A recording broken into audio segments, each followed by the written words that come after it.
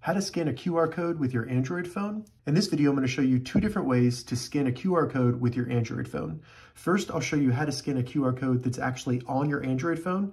So kind of like this, where it's on a website or image, something that is on our Android phone.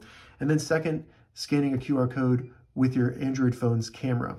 So if you have a QR code that's on your Android phone, kind of like this, the first thing we need to do to scan it is simply take a screenshot of the QR code on our Android screen. And you can do that by simply hitting the volume down button and the power button at the same time. When you do that, you'll see the actual screenshot right here. Go ahead and select the screenshot and then select save. So now to access that screenshot and open the QR code, we just need to swipe up from the home screen, go to photos.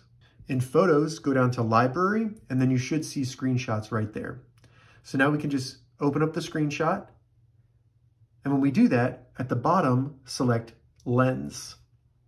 Then when you do that, it'll put a little box around the QR code and it'll show you the link that the QR code's going to. Select that box or the link, and then it will open it up in the browser. Additionally, if you want to scan a QR code that's not on your phone, we're going to use the camera on our Android phone. So open up the camera and then select the little gear near your camera, as you can see right here, for the settings. Once you get in the settings, select more settings and then where it says camera scan suggestions, toggle that on. It may say something like Google Lens, something like that, but camera scan suggestions, we just want to turn that on, then hit the back button.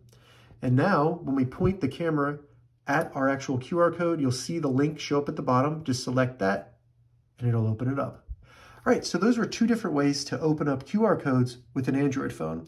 If you have any questions about this, leave a comment below. I'll get back to you as soon as I can. If you'd like to see more Android tips and tutorials, check the links in the description.